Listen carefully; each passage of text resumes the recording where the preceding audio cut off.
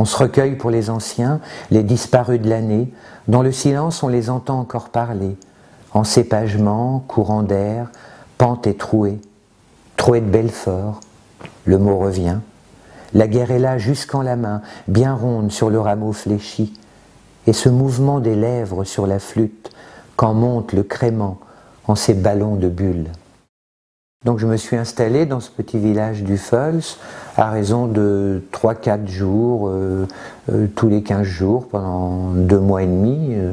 Ce travail lexical autour du terme fortifié, se fortifier, le fortifiant, qu'on appelle aussi le cordial. Donc le cordial, c'est la cordialité, c'est l'altérité.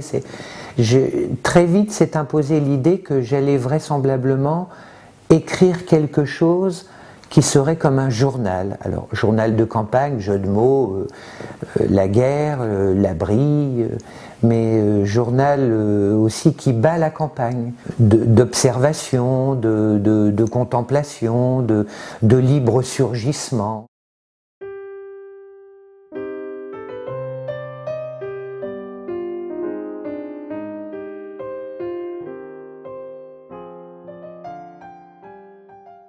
J'ai tout de suite pensé que euh, la fortification, euh, euh, c'était une, thématique, une problématique même d'écriture, peut-être même de l'écrivain. alors, l'écrivain poète, parce que le poème, c'est vraisemblablement quelque chose qui est lié à la fortification, c'est quelque chose, mais pas à la fortification défensive, agressive. C'est euh, le côté très positif de la fortification, se fortifier soi-même en s'exprimant et euh, mettre debout un texte, tenir debout.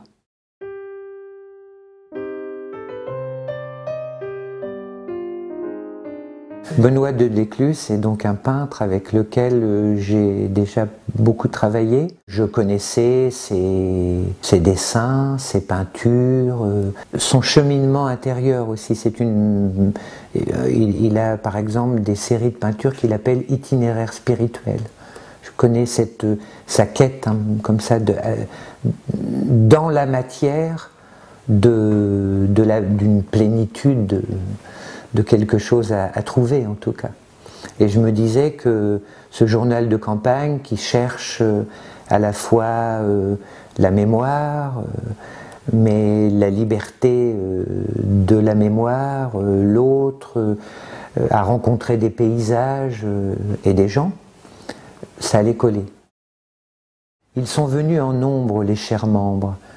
Ils sont vignerons, où on parcelle de vignes à bricoler, leur cabane à cépage.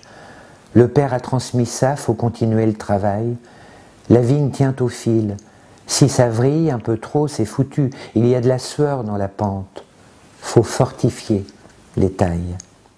J'ai rencontré en me promenant euh, sur les vallons euh, et les ballons, les collines là, mais on n'était pas encore dans les ballons.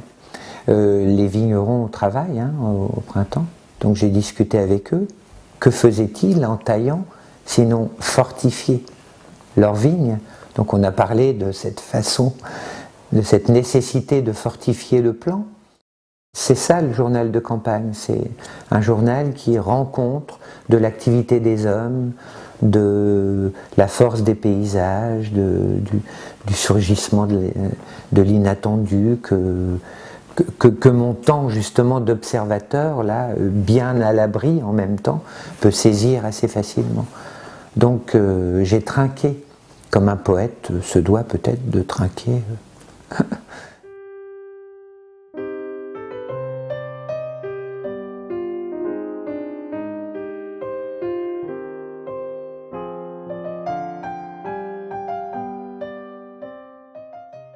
Stammtisch, ce fameux café euh, alsacien euh, où les habitués se retrouvent et font, et font souche et, font strate et font groupe. C'est très très touchant autour de la table. L'enceinte est close, la peau poreuse, la vie dedans depuis la souche.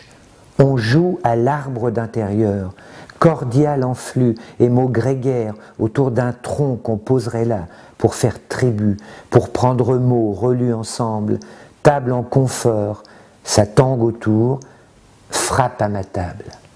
Elle est ouverte. Si ça te dit, ça me dit aussi. Stamtisch, ici.